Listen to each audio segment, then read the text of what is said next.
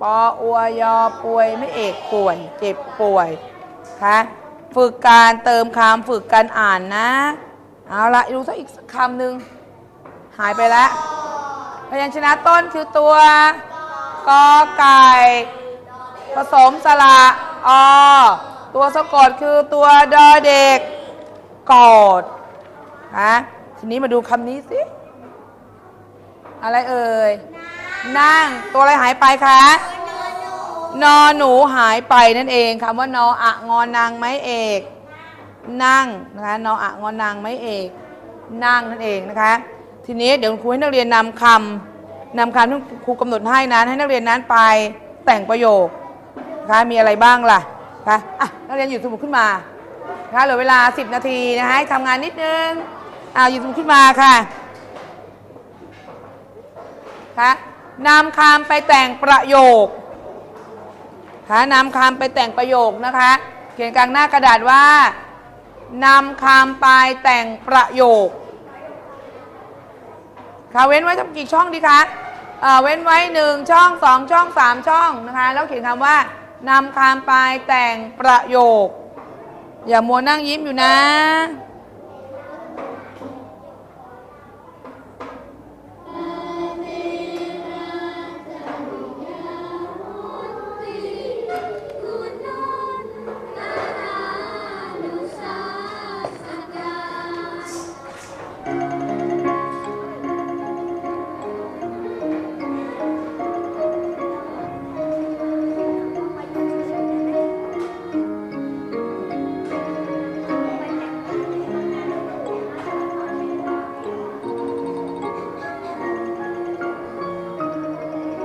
เอาละค่ะนะคะ เรียบร้อยแล้วนะคะนำคำไปแต่งประโยคค่ะคำที่หนึ่งแล้วนะคะ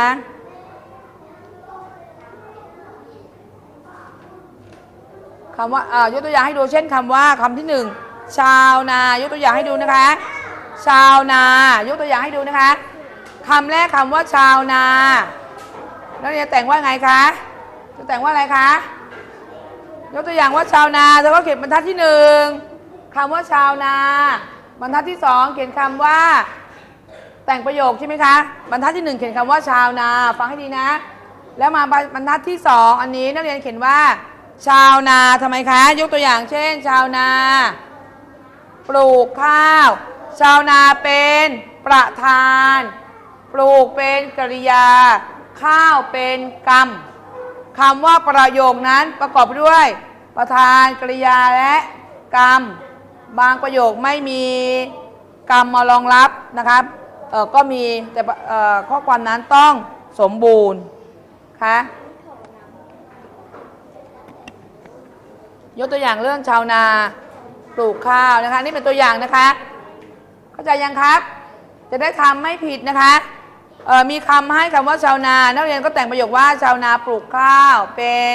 ตัวอย่าง ทีนี้มาให้นักเรียนทำเองนะคะ ข้อหนึ่งแล้วนะ ข้อนี้เป็นตัวอย่างนะคะเอาดูข้อหนึ่งเขียนในหน้าเอ่อหลังจากนักเรียนเขียนคำว่านำคำไปแต่งประโยคแล้วเอาข้อหนึ่งคุณมีคำมาให้คำว่า ชาวเขา ชาวเขาให้นักเรียนแต่งเองค่ะ อะไรเป็นประโยค ประโยคประกอบด้วยประธานกริยาและกรรมนะคะอะ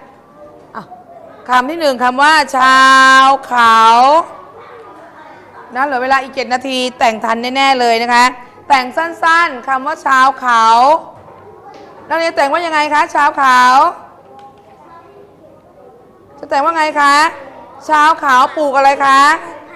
ชาวเขาปลูกผักก็เขียนไป ต่างคนต่างเขียนนะ รีบทำนะครับ อย่ามัวช้าอยู่นะคะ เวลา 7 นาทียังทำทันนะคะ ทันในชั่วโมงเลยนะคะ เช้าขาวแต่งประโยคว่าอย่างไรเอาข้อความสั้นๆนะคะเอาลงมือแต่งค่ะ ต่างคงต่างแต่งนะคะ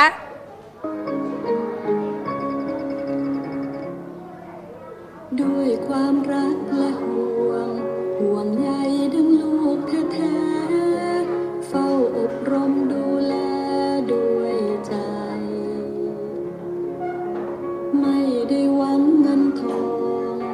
ไม่ต้องการสิ่งไหน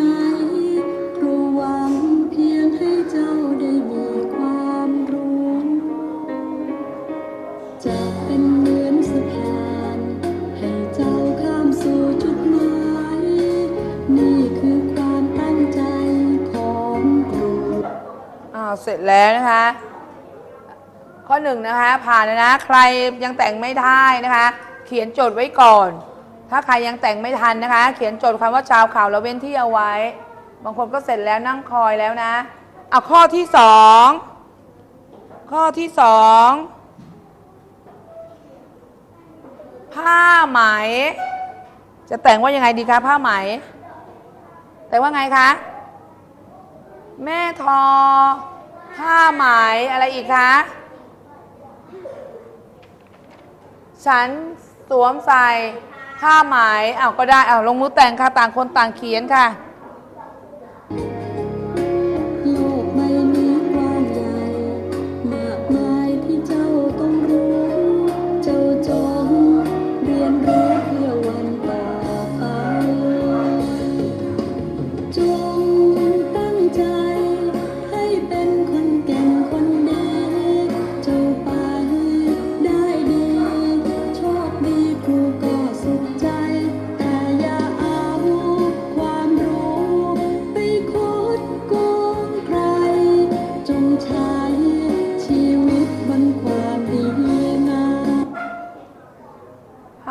นะคะ ข้อ 2 แล้วนะเอาข้อที่3เออมีหลายคนที่ยังไม่เสร็จนะคะเอาเขียนข้อ 3 ไว้นะคะ เขียนข้อ 3 นะคะ แต่งไม่ทันแน่ๆเลยนักเรียนบางคนยังไม่เสร็จข้อ 1 เลยนะคะอะข้อที่ 3คำว่าขึ้นข้อ 3 ใหม่นะคะ คนที่ยังไม่เสร็จนั้นก็เขียนข้อ 2 ว่าผ้าไหมแล้วก็เว้นที่เอาไว้แต่งประโยคอีกบรรทัดหนึ่งแล้วก็เว้นมาเขียนคำว่าข้อ 3 แผนที่ แผนที่ จะแต่งว่าอย่างไรดีล่ะคะ แผนที่ ฉันเขียน แผนที่ประเทศไทย ฉันเป็นประธาน เขียนเป็นกริยา นะคะ แผนที่ขยาย แผนที่ขยายอะไรคะ ประเทศไทยขยายกรรมอีกด้วยนะคะ แผนที่เป็นกรรมละ ถูกฉันเขียนนะคะคำที่สามคำว่า แผนที่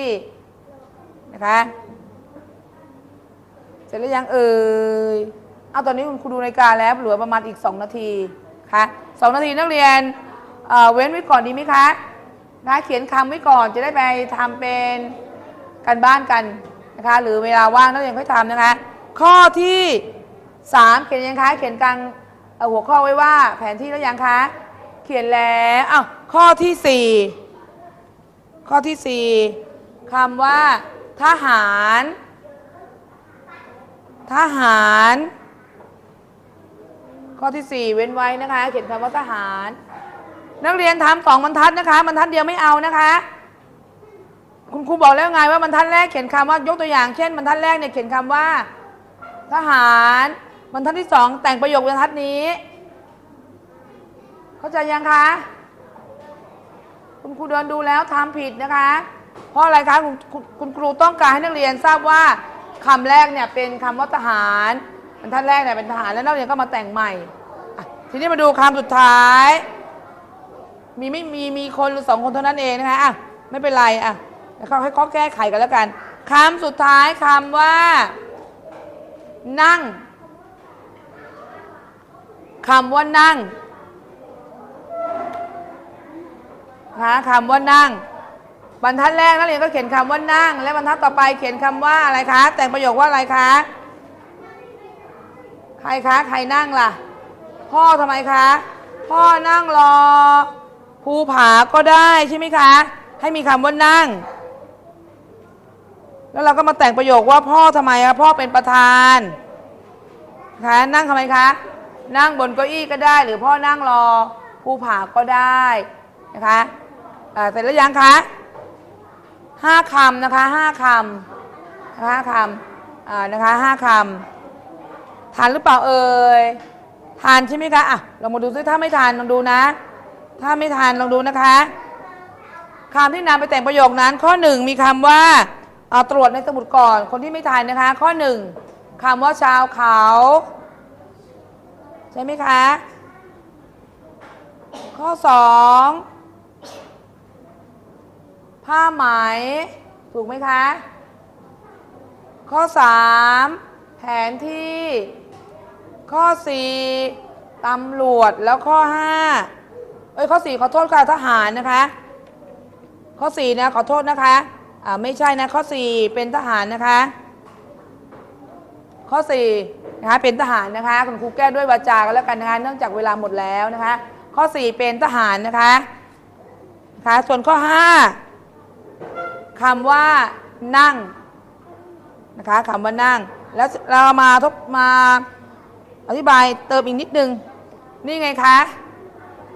คำแรกที่ครูกำหนดให้คือคำว่า สมมติว่าชาวนาบรรทัดแรกเขียนคำว่าชาวนาบรรทัดที่สองแล้วนักเรียนก็มาแต่งใหม่ว่า ชาวนาปลูกข้าว เพื่อให้นักเรียนนั้นจะได้จำได้ว่า เรานำคำว่าชาวนานั้นมาแต่งประโยคนะคะเด็กๆจะได้ไม่ลืมนะคะ เอาละเวลาเราก็หมดลงไปแล้วนะคะ ฉะนั้นวันนี้เด็กๆคะใครที่ยังแต่งประโยคไม่ได้นะคะนำไปคิด คะฝึกสมองในการแต่งประโยคง่ายๆจะเอาในบทเรียนของรักพ่อรักแม่มาแต่งก็ได้คะอย่าได้ลอกเรียนแบบคนอื่นเขาคิดเองนะคะพบกันใหม่ค่ะ สวัสดีค่ะ